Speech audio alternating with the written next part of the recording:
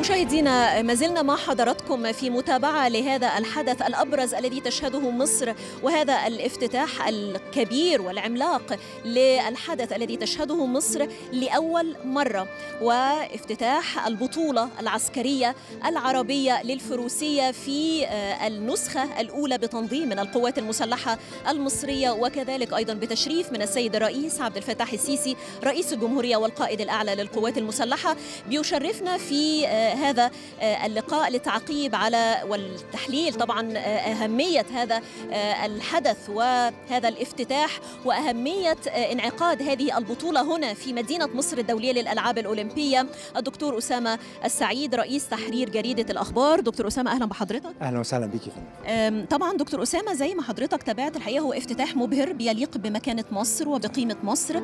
وال... والأكبر كمان هو مدينة مصر الدولية للألعاب الأولمبية اللي إحنا موجودين فيها وفي نادي الفروسية. عايزة حضرتك تقول لي يعني بعد ما تابعت الجزء الأول من الافتتاح رأي حضرتك في انعقاد هذه البطولة المهمة لأول مرة على أرض مصر؟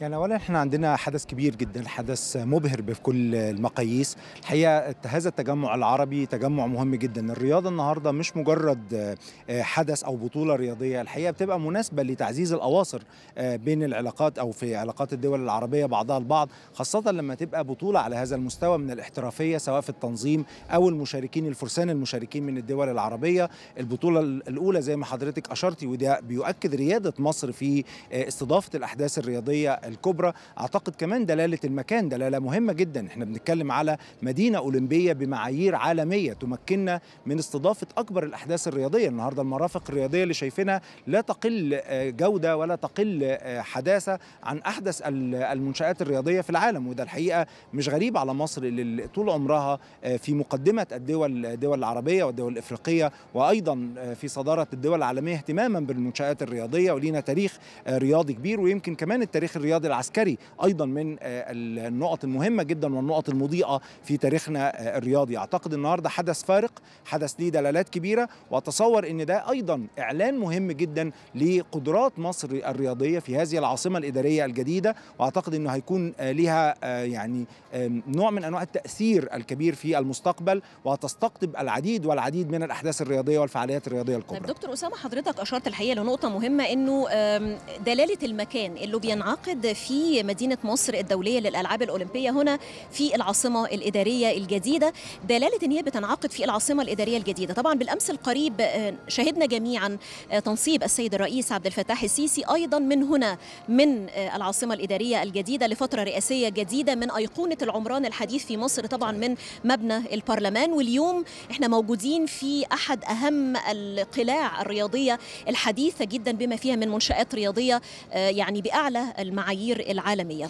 يعني أنا أعتقد أن العاصمة الإدارية ليست مجرد مدينة العاصمة الإدارية رمز. رمز للجمهورية الجديدة التي تقوم على العلم والعمل.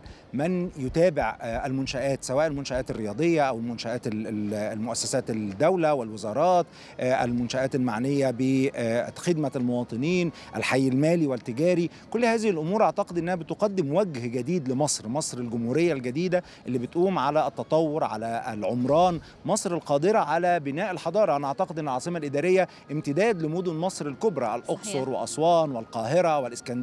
هذه العاصمة الإدارية هي وجه مصر للقرن الواحد والعشرين. أعتقد أن إحنا اللي بنشوفه النهاردة وهذه المدينة الرياضية ملمح من ملامح الجمهورية الجديدة اللي بنتمناها لبلدنا وبنتمناها لمصر اللي طول عمرها رائدة في العمران وبناء الحضارة. النهاردة كلنا بنفتخر بحضارة مصر بحضارة البنائين العظام اللي بنوا وتركوا للعالم أعظم المنشآت في العالم كل الملايين من من أنحاء العالم بتأتي لمشاهدة ما بنيناه على مدى قرون. أعتقد أن العاصمة الإدارية الجديدة وهذه المدينة الفتية والمدينة الحديثة أعتقد أيضا ستكون قبلة لملايين من الزوار اللي هيشوفوا قد إيه مصر قادرة على استمرار البناء والعمران والتحديث والتطوير. أعتقد أن كل مواطن مصري يجب أن يأتي إلى العاصمة الإدارية الجديدة ليفخر بوطنه ويفخر بما قدمته الدولة المصرية وأيضا يطمئن على مستقبل هذا الوطن. بشكرك شكرا جزيلا دكتور أسامة سعيد رئيس تحرير جريدة الأخبار. شكرا شكرا جزيلا على وجودك معنا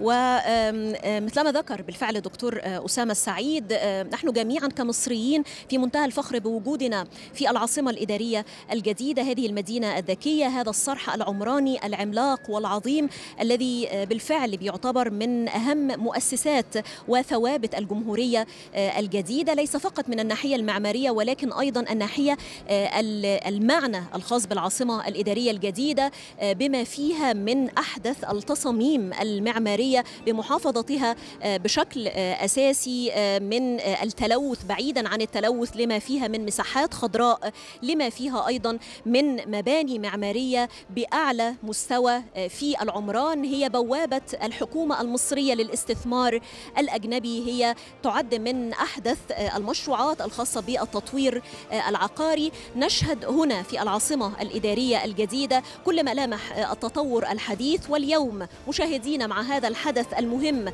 الذي تشهده أرض مصرنا الحبيبة وذلك بمناسبة مرور 42 عاما على تحرير سيناء نشهد معا هذه البطولة وافتتاح هذه البطولة المصر العربية العسكرية للفروسية وذلك في نسختها الأولى بتنظيم القوات المسلحة وبتشريف السيد رئيس الجمهورية القائد الأعلى للقوات المسلحة.